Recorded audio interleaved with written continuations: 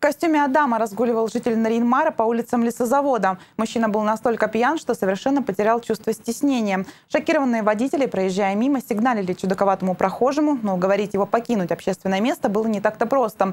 А автор непристойного ролика, который затем появился в интернете на всеобщее обозрение, оказался хорошим приятелем голого мужчины. Репортаж Олега Хатанзейского.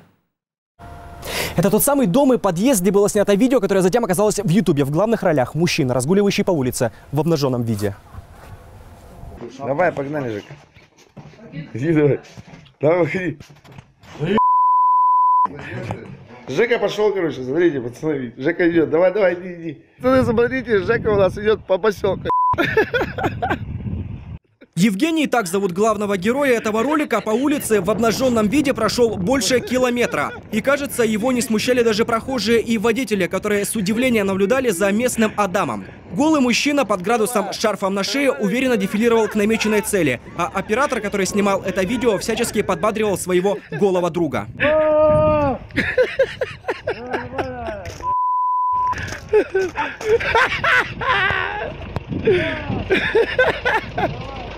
Вот автор ролика просит Евгения покричать на камеру, но мужчина отказывается. За кадром слышен смех молодой девушки. А чуть позже она и ее возлюбленные появляются на видео. Все вместе отправляются в сторону нового поселка.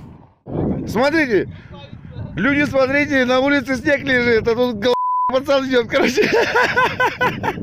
Этот инцидент привел в шок весь Наринмар, ведь такого в городе ни разу не происходило. В интернете непристойный ролик появился 25 апреля. Затем видео оказалось у полицейских, правоохранителей героическим поступком мужчины сразу заинтересовались. Искать местного Адама долго не пришлось. В мае его задержали. Евгений снова гулял по улицам в состоянии сильного алкогольного опьянения. Но на этот раз уже одетый мужчина, как выяснилось, к административной ответственности привлекался аж 36 раз. Неоднократно его привлекали к административной ответственности за нарушение общественного порядка, за появление в общественных местах в состоянии опьянения. Но человек ведет на моральный образ жизни. Протрезвев, Евгений уверяет, на видео не он, его подставили, а ролик смонтировали. У мужчины, мол, много недоброжелателей. Я его сам видел. И неоднократно. И вы там себя не узнаете? Почему? Похож, но это не Может быть, просто не помните? А что мне не помнить? Я хоть какое, все помню. Тем более такое, не запомнить это глупо, по-моему. Однако, сравнив лица, сомнений в том, что на видео Евгения не возникает. Непристойный случай продолжает отрицать и хозяин квартиры, из которой выходил голый мужчина. Алексей вообще не помнит те события. Нет, голый никто не бегал. То есть это, такого не помните? Это Алеша, точно, сто процентов. Алеша, Алеша. Сто процентов, да. Алеша, это там вот, вот соседи там, я не знаю. Алеша, зачем ты отказываешься? Не-не-не, да я, ты, ты, Тань, ты че? Ну они же от тебя ушли. Не-не-не. У меня точно из квартиры. Сто процентов? Сто процентов. Ну, Все сто, двести даже. А вот соседи утверждают обратное. Инцидент действительно был. Произошел он в будни. Хорошо детей не было в тот день. Они были в школе. А так это, вы понимаете, голый пошел, они все хохочут. Их было, наверное, четыре или три парня. Они все хохотали, он шел вот так, и пошли они туда дальше.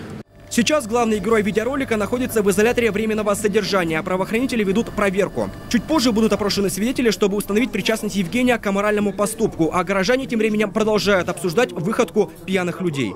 Конечно, такой поступок аморальный, и я считаю, такое поведение недопустимо, потому что люди, участвующие в таком ролике, они просто позорят наш город, и тем более, что увидеть такое могли дети, маленькие девочки. Удивляет то, что люди, которые проходили, прохожие, водители, которые приезжали мимо на машинах, э, никак не отреагировали. Второго героя этой истории оператора найти пока не удалось. Скорее всего, безнаказанным он тоже не останется. Олег Танзийский, Роман Делимарский, Андрей Котов, телеканал «Север».